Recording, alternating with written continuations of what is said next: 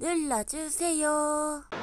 자 여러분 안녕하세요. 부릉부릉 윤희철 팀장입니다. 제가 오늘 소개시켜드릴 차량 기아의 올뉴 카렌스 차량이고요. 1.7 VGT 프레스티지 등급의 차량입니다. 자 이 차량 기본적으로 2015년식 9만 5천 킬로 탄 완전 무사고 차량입니다. 일단 차량 외관 상태가 어떤지 먼저 한번 보실게요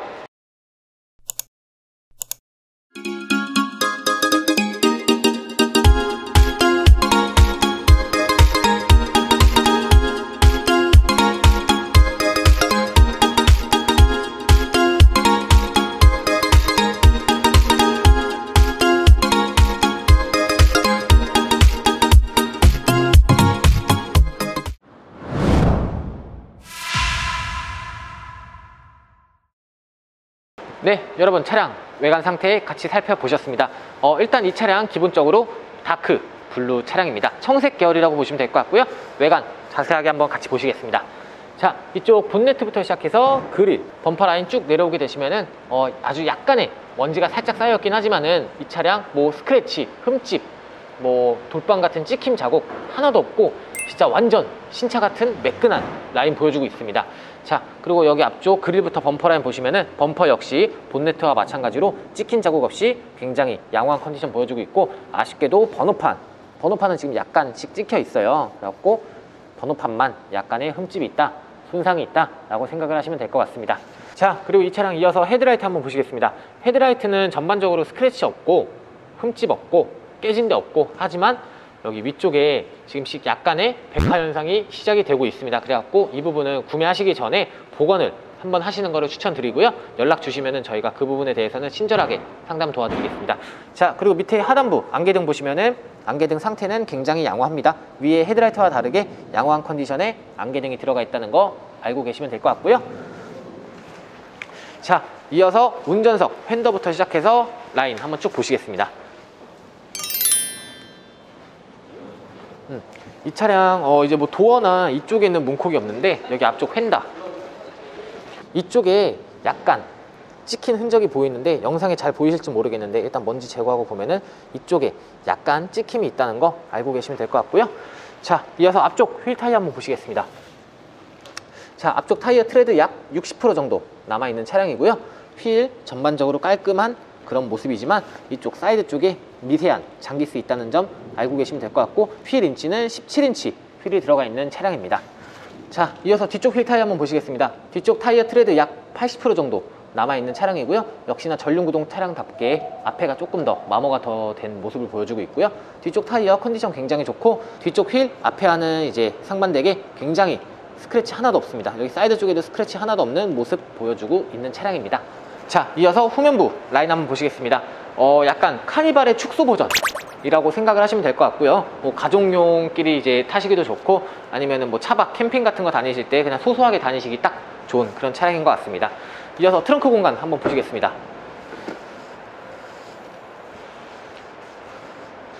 자 트렁크 공간 일반 승용차와 다르게 역시나 굉장히 넉넉한 트렁크 공간 모습 보여주고 있고요.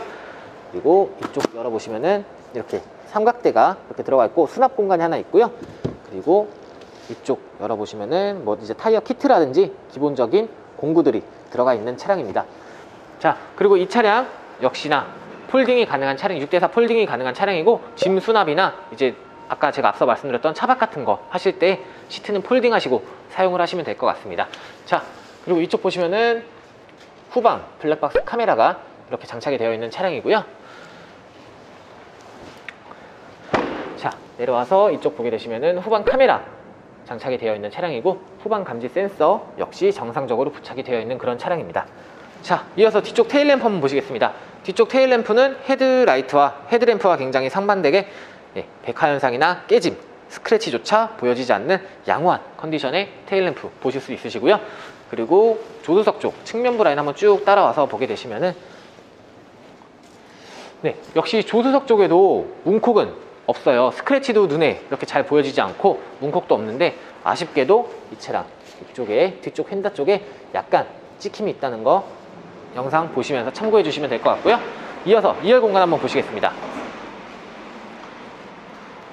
자 2열 공간 시트적인 부분 보게 되시면은 굉장히 양호한 컨디션 보여주고 있고 네, 시트 울거나 찢어짐 전혀 없고 바닥의 매트도 굉장히 깔끔하게 잘 깔려 있는 그런 차량입니다. 자 이렇게 차량 안쪽에 탑승을 했고요. 지금 앞에 시트가 좀 뒤를 당겨놨어요. 일부러 어느 정도까지 되냐 한번 보기 위해서 뒤쪽으로 좀 당겨놨고 이렇게 딱 붙어 있는 상태인데 앞에 공간은 굉장히 넓고 이렇게 뒤로 시트를 많이 조금 포지션을 이동을 해도 뒤에 타시는데 불편함은 없으시고요. 그리고 네, 그리고 이쪽을 보시면은 컵홀더와 아주 조그만한 테이블이 하나 이렇게 구비가 되어 있는 차량입니다. 자, 그리고 여기 안쪽으로 들어왔습니다. 안쪽은 시트, 이제 운전자분이 이제 편하게 일단은 기본적으로 맞춰 놓은 상태인데 이렇게 시트를 앞으로 좀 포지션을 이동을 했을 때는 뒤에 공간도 굉장히 넉넉하다는 거 알고 계시면 될 것 같습니다. 자, 이렇게 차량 전반적인 외관 상태와 2열 공간까지 보셨고요. 이제 안쪽에 탑승을 해서 어떤 옵션들이 있는지 같이 한번 보실게요.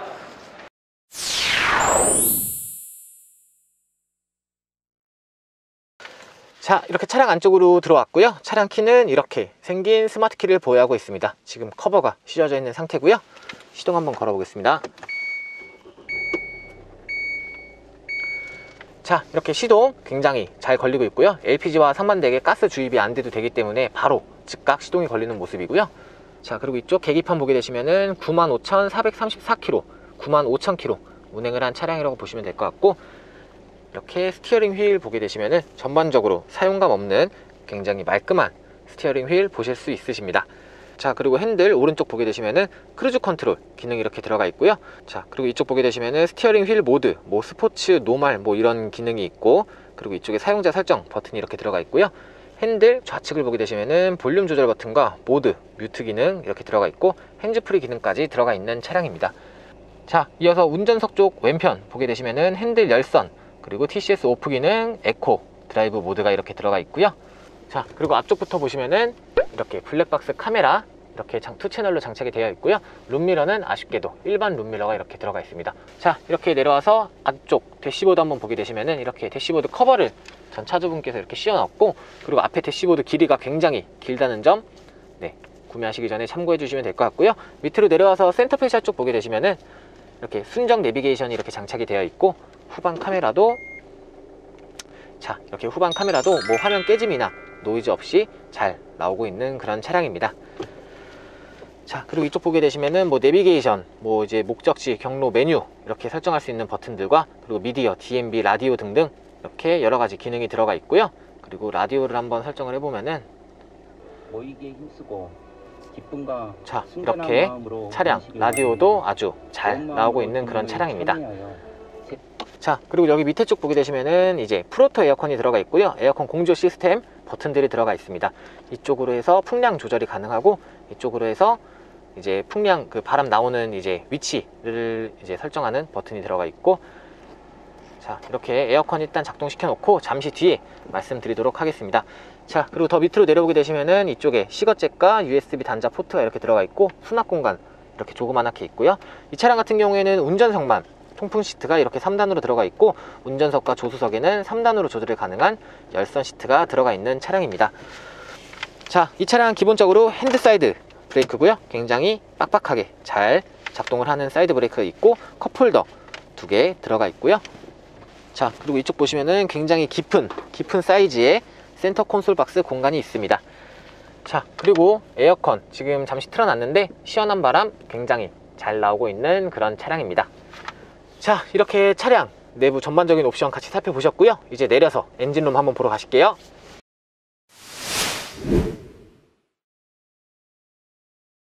자 이렇게 나와서 지금 차량 엔진룸 같이 살펴보고 계시고요.